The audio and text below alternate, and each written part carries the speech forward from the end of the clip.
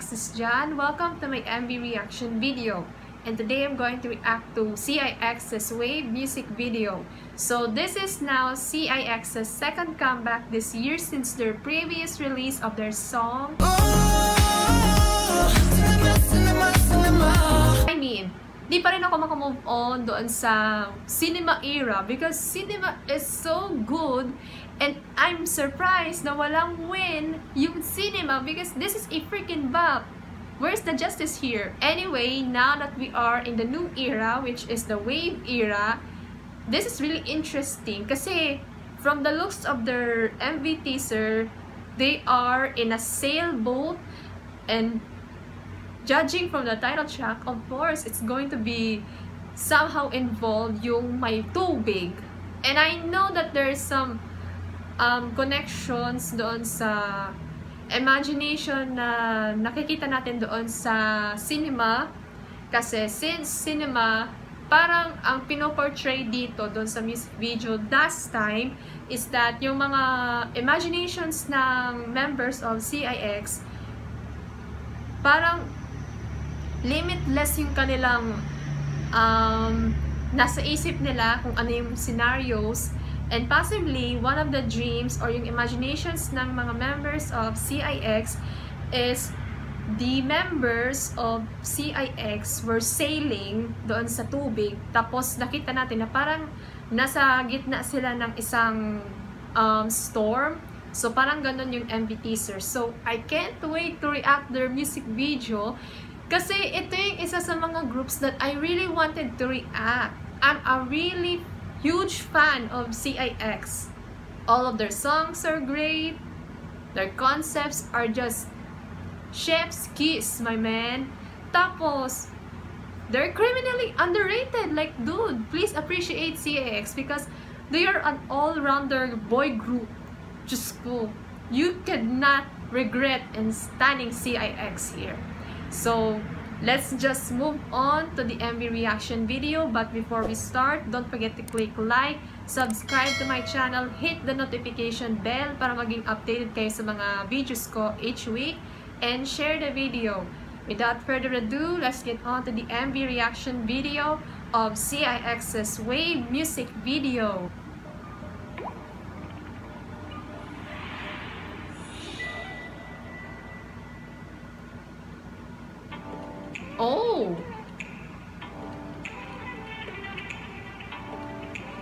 Ganda!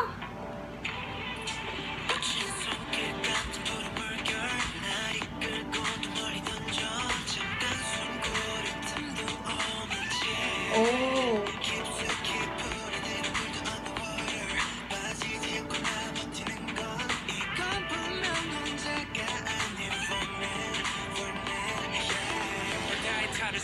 Yes, BX.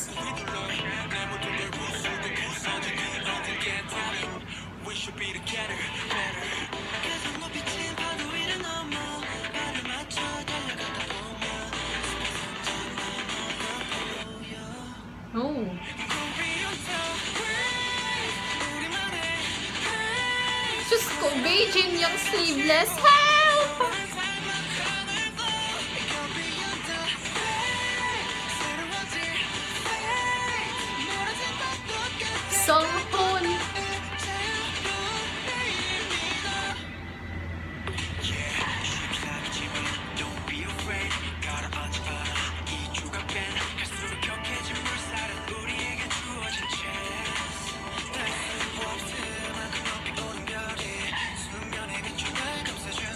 They are now preparing the the sailboat.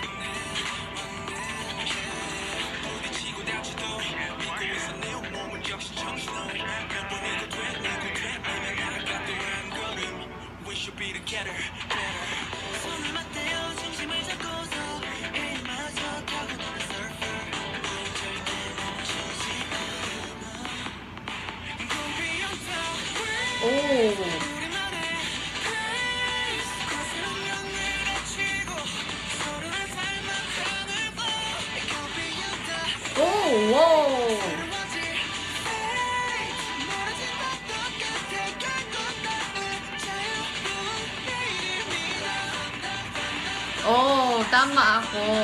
They're in the middle of the storm.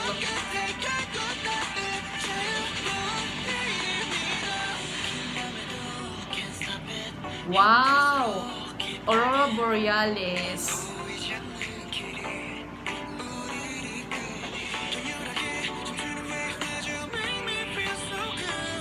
Ganda!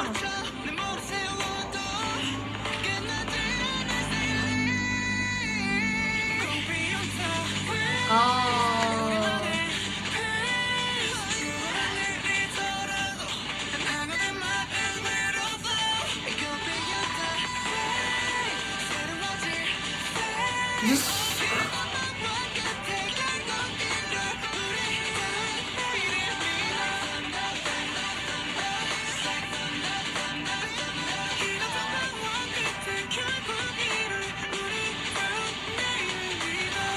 Oh, they finally found their destination. Ay! oh my G, yun yung nasa cinema? Yung astronaut? Oh my God. Oh my God! Ang intriguing ng music video! So, let me reiterate doon sa sinabi ko about yung connection with the music video of cinema and then sa wave. I think somehow may connection dito yung dalawang music videos kasi we saw the ending na yung isa sa mga members were unconscious. I mean was unconscious pala. Kasi parang hindi pa siya naggigising. Tapos I think nasa coma ata yung isa sa mga members. I can't tell who. Basta yung black haired member I forgot the name sorry. Pero yun na yun. Parang astronaut doon sa music video, I think yan yung subconscious ng isang member na, na, um, na unconscious na hindi pa rin nagigising. So, I think na yung astronaut na yun played the vital role doon sa wave music video. Parang um, nasa-stuck pa siya sa, um, sa dream ng member na yon who was still unconscious kaya doon nakikita natin doon sa start ng music video of Wave, four of the members check on that member na unconscious at hindi pa rin nagigising.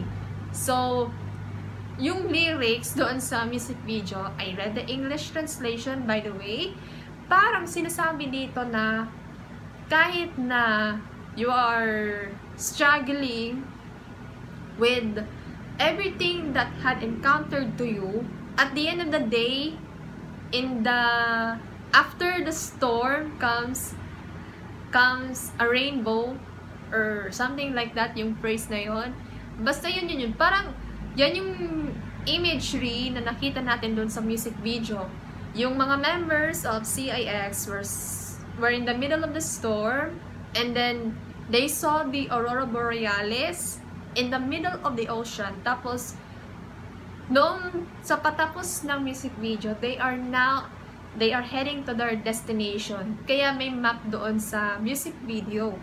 Parang plinano nila na parang they are going to take on an adventure and then they finally found the destination. Pero yung mga nagaganap doon sa music video, it's all in the mind ng isang member who is still unconscious hanggang ngayon. So, parang yung astronaut doon sa music video symbolizes the subconscious of that member. So I don't I don't know if my theory is correct regarding this one. So I hope that you're on the same page as me. But let me talk about the song.